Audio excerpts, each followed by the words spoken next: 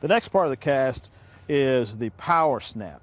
And that's the part where you're going to use your wrist, and it's also the part where the clock face thing comes into play. A lot of people uh, use 10 o'clock and 1 o'clock, or uh, 11 o'clock and 1 o'clock, 10 o'clock and 2 o'clock. But basically, what's happening is if you were imagining a clock with 12 o'clock here, you're going to want to try to keep that rod tip between 11 o'clock and 1 o'clock for your power snap. And if you, if you watch your wrist, what's going to happen then is your wrist is going to go from a bent down position to a straight position.